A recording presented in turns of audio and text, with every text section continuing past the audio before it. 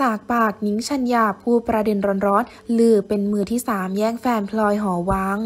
ดาราสาวนิ้งชัญญาออกมาตอบแล้ว หลังโดนชาวเน็ตโยงว่าเป็นมือที่สามในความรักของดาราสาวรุ่นพี่ พลอยหอวังกับอดีตแฟนหนุ่มทูศิราช โดยนิ้งชัญญาตอบกองทัพสื่อด้วยสีหน้าค่อนข้างเครียดว่า เรื่องที่ชาวเน็ตโยงว่าเป็นมือที่สามของคู่พลอยหอวังขอชี้แจงเรื่องนี้พูดในส่วนของนิ้งสำหรับพี่เขาพลอยหอวังยังเป็นพี่ที่รักและเคารพเหมือนเดิม ส่วนอีกคนเป็นเพื่อนด้วยความบริสุทธิ์ใจ เราได้คุยกับพี่เขาตั้งแต่วันนั้นแล้ว เรื่องมันผ่านมานานแล้ว เราเคารพตัวเองมากพอที่จะไม่เป็นมือที่สามของใคร ทูเป็นเพื่อนไม่ได้คุยกันเลย ไม่เคยใช้คำว่าแฟน เรื่องผ่านมานานมากแล้ว ได้พูดคุยอย่างบริสุทธิ์ใจกับพลอยไปแล้ว เคลียร์กันจบไปแล้ว ส่วนตัวยังรักและเคารพพลอยเหมือนเดิม เรื่องที่อีกฝ่ายอันฟอลโล่ตนนิ้งบอกว่าเพิ่งเห็นจากข่าว ส่วนตัวของนิ้งไม่ว่าจะยังไงก็ตามยัังรักพี่พลอย เรื่องนี้เกิดขึ้นคงต้องเป็นเรื่องที่นิ้งต้องไปคุยกับพี่เขาอีกที ข่าวมีผลกระทบอะไรกับจิตใจ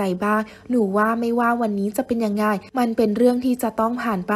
นิ้งพยายามทำทุกอย่างแบบเต็มที่แล้ว เรื่องในโซเชียลที่คนพูดถึง เราก็ไม่มีอะไรต้องบอก เพราะเราบริสุทธิ์ใจ เรื่องที่เกิดขึ้นได้พูดแล้วก็รู้สึกดีขึ้น ถามว่าถ้ามีแฟนก็ไม่ไปเป็นมือที่สามของใครเนาะ นิ้งรู้สึกว่าเรื่องนี้ยุ่งเหยิงมาก ไม่แน่นอน มือที่สามหมายถึงเขาไปผัวพันยุยงแตกแยก นิ่งมั่นใจว่าไม่ใช่ค่ะ